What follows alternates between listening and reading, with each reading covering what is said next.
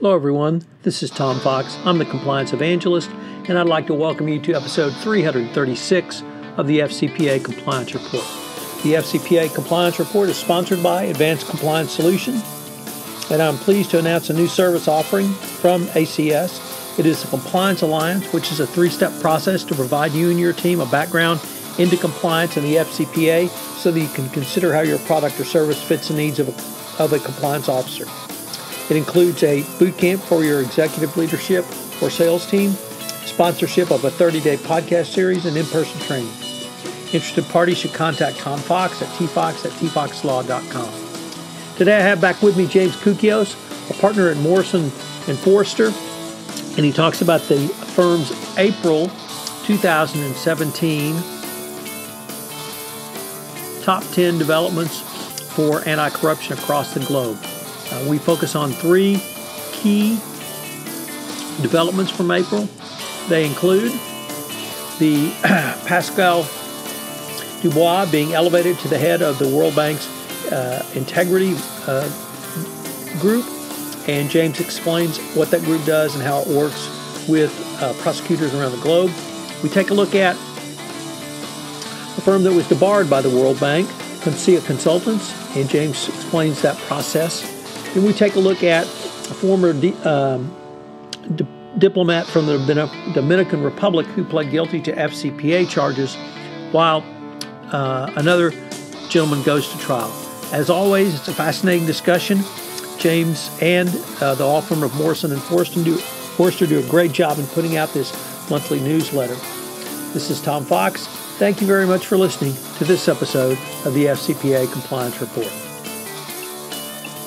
Hello, everyone. This is Tom Fox back for another episode of F, the FCPA Compliance Report with uh, James Koukios, partner at Morrison Foerster, great friend of the uh, podcast. And he is back as the firm is out with another edition of its most excellent monthly newsletter, Top 10 International Developments for Anti Corruption, the April edition. So, with that, James, uh, welcome and thanks for taking the time to visit with us yet again. Thanks for having me, Tom.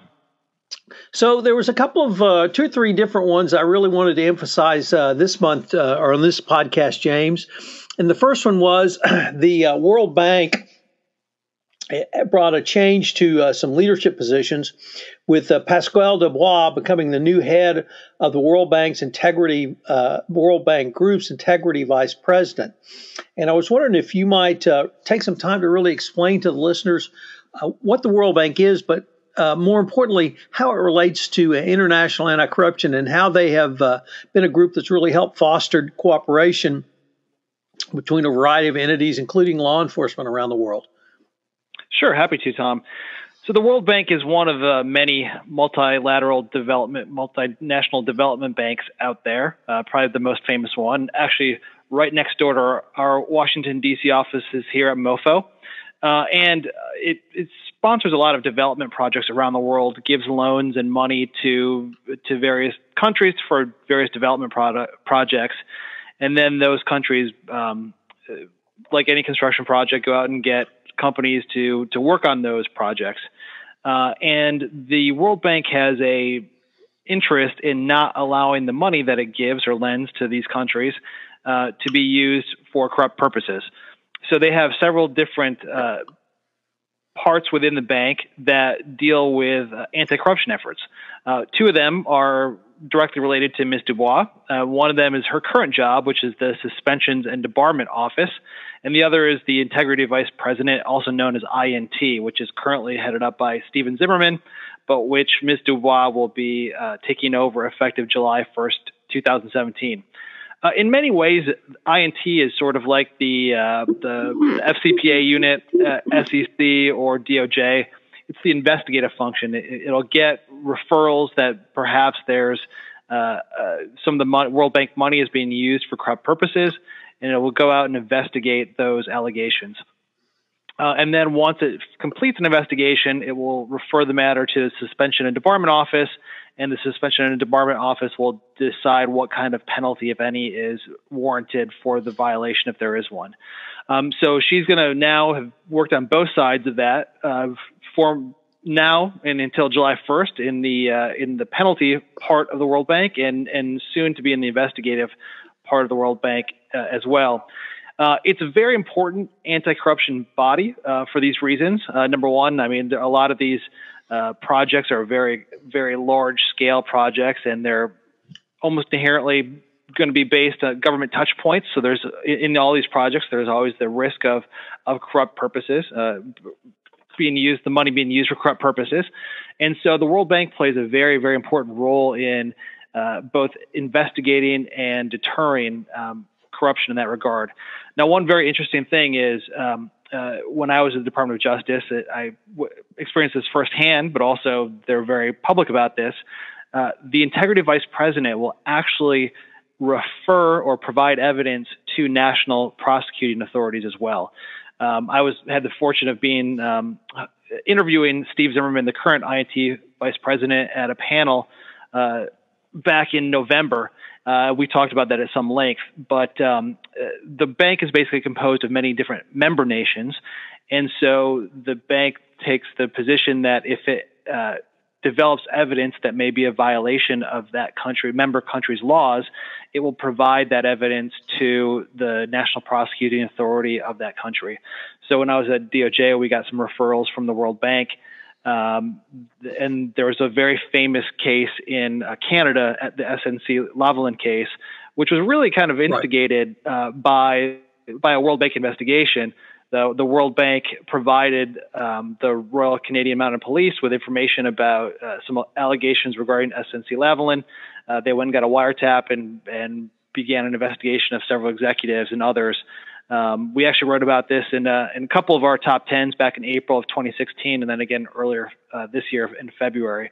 Um, so it plays a very important role in that regard to, to both investigate and help other authorities, actual prosecuting authorities, bring cases as well. So it, it, plays a very, very important role. There's other things that it does as well. The INT does as well. I mean, it, it gets out there. It talks about compliance standards. It talks about uh, trying to bring transparency and uh, anti-corruption to to its contracts and things like that. And the suspension and debarment office obviously works in that regard as well to try to to um, make transactions more transparent and and really spread the uh, the anti-corruption gospel, if you will. Right. And so that leads to another um, component of this month's or the April issue. There was a, um, a a diplomat pled guilty. Uh, I'm sorry, there was an engineering firm debarred by the World Bank for bribery in Southeast Asia, the uh, Denmark based Consia Consultants. And I was wondering if uh, you could tell us a little bit about that case because it sounded just just fascinating. Sure. So the INT, um, the Integrity Vice President, uh, investigated uh, some allegations that this company that you mentioned, Tom, uh, had engaged in some corrupt practices in Indonesia and Vietnam. Uh, the, the Indonesian allegations were that the company made payments to officials in Indonesia to influence contract awards in connection with a World Bank World Bank financed strategic road infrastructure project there in Indonesia, as well as some related uh, allegations. Uh, and the World Bank also investigated and, said it found evidence that the company made corrupt payments in Vietnam in connection with the Hanoi Urban Transport Development Project and some other misconduct relating to the what they called the Second Northern Mountain Poverty Reduction Project. Uh, so the INT decided, uh, determined that there had been um, evidence substantiating these allegations, and it was referred to the uh, suspension and debarment office, and the suspension and debarment office determined that the company should be debarred from World Bank contracts for 14 years, and that one of its managing directors should be personally debarred for doing uh, business before the bank for three and a half years. So, is that unusual for the World Bank to debar an individual uh, it's clearly within its its um, its ambit, and it, it does happen. So one thing in here really intrigued me because I have to admit, frankly, I wasn't aware of it, and it's something called an agreement of mutual recognition of debarments. Could you explain to the audience what that is, James, and how it works? Sure. As we talked a little bit uh, at the beginning of the podcast, the uh, World Bank is one of many multilateral development banks. And uh, several of the other banks have, uh, or the banks have gotten together and decided, hey, if you uh, if you debar one of uh, your contractors, we may debar that uh, contractor as well. Uh, and the idea there is to really make it so that no company will benefit from um, from corruption from any multilateral development bank project, and to try to really um, make it so that the punishment goes across all the development banks. And that was an agreement that was actually reached back in 2010 for the multilateral development banks. Uh, so it's the is eligible. It's not automatic, um, and, and, so but that could happen to this company that was debarred by the World Bank. Uh, other banks like the African Development Bank, uh, the um, and others could also debar the company as well. Which obviously, if that's your business, if you're doing business in in kind of these big bank related construction projects, that could be a real severe penalty. So there's a couple of other things that I thought were uh, pretty interesting in uh, this month's report. you have um, a uh, report on uh, Francis Lorenzo, a deputy, former deputy ambassador from the Dominican Republic, who pled guilty to uh, conspiring to violate the FCPA. And you also note that uh, one of the other defendants has filed, a, um, or rather, the judge denied a motion to dismiss against one of the other defendants. Wondering if you might be able to just kind of walk us through that and what you see that would be significant for the uh, compliance practitioner out of these cases. Sure. So this is a uh, is an interesting case. It was brought quite a while ago, uh, originally in the Southern District of New York, still in the Southern District of New York, but originally just brought by that U.S. Attorney's Office on uh, domestic bribery charges. Uh, it was very interesting for those of us in the FCPA space to uh, to read that, especially those of us who were former FCPA prosecutors and know that uh, the fraud section here in DC has exclusive jurisdiction for bringing FCPA cases, that a case involving the United Nations, uh, which is a, a, public international organization for purposes of the FCPA, and therefore its officials are considered foreign officials under the FCPA. It's very interesting that only the Southern District of New York was involved and that there were no FCPA charges, just domestic bribery charges brought in that case. Um, and so originally, when the, that was brought, several defendants pled guilty to the original charges, including Mr. Lorenzo. Uh, well, most likely as a result of some uh, internal DOJ politics, uh, eventually FCPA charges were brought in that case, and an FCPA prosecutor from Washington was involved and there were additional, as I mentioned, uh, against. Uh, I, I can't. I've got to be honest. I can't pronounce his name, but his last, his first name, I think, is Sang, right? Uh, the the Chinese national. Uh, FCPA charges were eventually brought against him, uh, and so what's interesting is Mr. Lorenzo actually pled guilty last year to the original charges, and now he's pled guilty to additional charges, including FCPA charges, probably because, speaking as a former prosecutor, you like it if your cooperating defendant has pled guilty to the same charges that you're going against uh, the defendant who's going to trial. Uh, it's kind of a just reinforces at least optically to the jury that hey, this guy who's testifying has pled guilty to this charge. Uh, and so that reinforces the fact the person who's on trial also is guilty of those uh, those charges. Just a little parallelism that I think prosecutors like. Um, so he pled guilty to those additional charges and is expected to probably testify against, uh, I'll call him Mr. Sang, uh, at the trial. Uh, the trial was originally supposed to go at the um, very end of May, uh, May 30th, but here we are in June, so I guess I'm already spoiling my next top 10. But uh, at the very at the very last minute, uh, the trial was continued at the government's request because apparently some classified information came up uh, and the department needed a little bit of time to deal with the, the classified information. There's a whenever classified information is, is potentially um, uh, at issue in a trial, there's a, a, statute called the Classified Information Procedures Act, uh, which is very complicated. I was involved in several cases involving it's called CIPA, uh, CIPA litigation. Uh, the James Giffen case, for example, and some others. Right. Uh, they take a very long time. It can take a very long time to resolve. This one always looks like it's going to take about, um, according to the department, 30 days to resolve. But uh, by the end of June, um, that trial should be be going.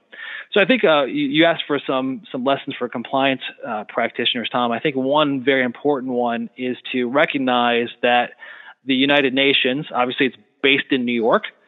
So um, when you're dealing with a, um, uh, a UN official, there can be domestic type bribery charges because oftentimes the the diplomat is going to be involved in in um, in New York, and so there's going to be U.S. jurisdiction. But also because it's a public international organization, uh, there could also be FCPA charges, even if the bribery takes place in the United States. Um, so I think it just goes to highlight some of the um, special risks that are involved when dealing with United Nations contracts. And obviously, those can be very lucrative as well. Um, there's been several cases, for example, the the oil for food cases that really kind of kickstarted the modern era of FCPA enforcement were United Nations cases. Um, not all of them were brought as FCPA cases because uh, not all of the uh, there wasn't jur- FCPA jurisdiction for a lot of them. They were brought as wire fraud cases, uh, but for some of those cases, there were some FCPA related charges as well. So it just kind of highlights uh, when you're dealing with some of these organizations like the United Nations or other multinational organizations like that, there can be a, a variety of risk areas uh, when you're doing business there. So, was the uh, if I could go into the weeds just a little minute, was the jurisdictional basis uh, against at least Mr. Lorenzo because the actions happened physically in the United States, even though he was uh, or apparently a Dominican uh, citizen of the Dominican Republic? Sure, there are a lot of defendants in that uh, case. Tom, and as I understand it as well, Mr. Lorenzo, though he was a, and and I, I should say I'm only knowing this from what I've read in the paper, but uh, it appears that Mr. Lorenzo is actually not only a diplomat from the Dominican Republic, but also a U.S. citizen himself. So there could be many different theories of jurisdiction in this case.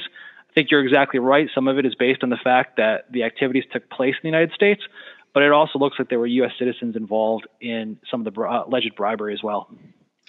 James, I'm really glad uh, that you were able to highlight the United Nations component of this because um, I was trying to find it online quickly, but I couldn't. There's a specific list of entities that the FCPA covers, uh, NGO entities across the globe.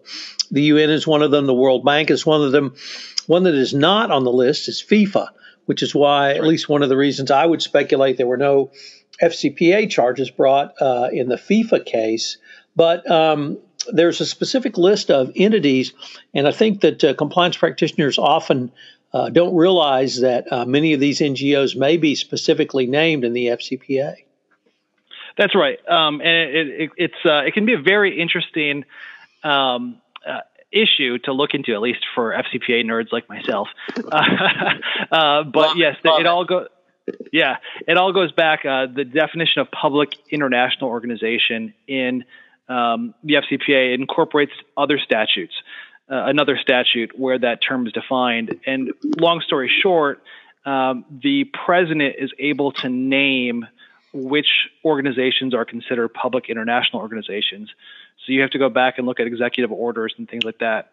And what I didn't know, I was recently um, researching this issue for another case, uh, and and some some organizations that you think would be no brainers. You, you, mentioned FIFA, Tom. It's obviously a, um, a, international organization, but it's not been designated by the any president as being a public international organization. But some other ones that you would think would be no brainers, like Interpol, for example, it's not so clear. And if I may digress for a moment on this, because I found this personally very interesting as the FCPA nerd that I am. Please do. Um, under the original statute that the FCPA incorporates, uh, the it, it's an immunity statute for uh, public international organizations uh, that are actually physically located in the United States. So the idea is you don't want to you want to have immunity for things like the United Nations and, and things like that. Um, you don't want to have them be subject to liability for for a variety of things. And so the um, so the president can say, okay, that organization is designated a, a, a public international organization for purposes of this immunity. Interpol, interestingly enough, uh, in the 1980s did not have any U.S. offices, and so it was not eligible mm. to be a public international organization. However, they wanted to have a conference in the United States, and so President Reagan, I believe it was, uh, gave them partial immunity under that statute. Um, and so for a long time, Interpol was kind of, sort of, maybe a public international organization, but it was just because of that one conference. Since then, Interpol actually has opened offices in the United States, very small, um, uh, a five person office in New York, if, I, if I'm correct. And President Obama extended that President Reagan's order to say now that uh, Interpol is based in the United States or has an operation in the United States, it can be a public international organization. So, long story short, I found that interesting because I'm a bit of an FCPA nerd, as, as I mentioned three times now. Um, but I think uh, the the longest story short is um, when dealing with these type of organizations, uh, there are executive orders out there there are places on the internet where you can actually research the, them. Just a, a, Google search will usually come up with a list of them where you can find them. Um, but it's surprising some that are and some that aren't. And I think that that doesn't mean that they're risk free because as, we, as we've seen from other cases like FIFA, as you mentioned, Tom, uh, the FCPA is not the only statute that can uh, reach foreign bribery. The wire fraud statutes, the Travel Act statute, um, all those things uh, can also be used if there's a hook for U.S. jurisdiction. So it doesn't mean that you're completely off um, risk free when you're dealing with some of these organizations, um, but it is an interesting note uh, to when you're assessing exactly what the jurisdictional ramifications and what the liability risks are. And James, really the key uh, for me and what you said there was when you assess your risk. because uh, any government touch point that's going to have an FCPA component, uh, your risk would go up, at least your FCPA risk. And just because your risk goes up doesn't mean you can't do business with those people or, you know, um, transacts with those people. It just means you have to manage that risk more robustly uh, with an appropriate level of compliance program uh, in place. So by making that assessment and knowing that you have an FCPA risk, it really helps the practitioner guide the business unit going forward. So I really did appreciate the way you phrased that as uh, assess your risk going forward. Yep, and and just because you know, as we said, Tom, just because it there's maybe no FCPA risk, there could be UK Bribery Act risk, there could be a wire fraud risk. So it's important to consider all those things going forward. Your response to those risks, as you said, Tom, might be a little different depending on exactly which risk you face, uh, but it's very important to make that assessment. James, I'd like to close with uh, one other the uh, other points that was in the uh, April newsletter, and it was the uh, remarks by Attorney General Sessions. And I want really, uh, I don't want to ask you about uh, the remarks because you've got got the link to the remarks and they speak for themselves. I, of course, was very gratified that he came to a compliance event. the Ethics and Compliance Institute specifically spoke to the compliance community, talked to compliance officers, I thought directly. But what I really wanted to get from you is a sense of when, when the Attorney General gives these kinds of remarks, what does it mean to somebody who's still at the Department of Justice? And then conversely, now you in private practice, what does that communicate to you as someone who represents companies uh, really in the compliance field? Sure, Tom. Uh, were you actually at that conference? I was or not. did you just read the? You're not. Gotcha. Gotcha. Read yeah, it was uh, interesting remarks. Um, you know, one of the big questions has been since since President Trump was elected was going to be what is the future of FCPA enforcement under a Trump administration? Uh, obviously, he famously criticized FCPA enforcement back in 2012 in connection with the Walmart case. Um, and so a lot of people are wondering, is this still going to be a priority? Is white collar crime in general going to be a, a priority? Uh, and so I think when when um, the attorney general or somebody from the criminal division goes out and says, you know, basically this is still a priority for us. Uh, we are still going to enforce the statute. It's the law of the land, and it's important for a variety of policy reasons. Um, I think it, it, it makes it uh, clear that people should continue going down the same path that they have been for the last 10, 15 years. Um, doing the things that we just talked about, Tom, assessing your risk, uh, building compliance procedures, um, doing your diligence when you're dealing with third parties and things like that. Basically, that the the landscape is not going to change radically, and all the good processes and procedures that you've built into your compliance program uh, should should stay there, and you should continue to evolve them and continue to, to, refine them and make them more sophisticated uh, because FCPA enforcement is, is here to stay.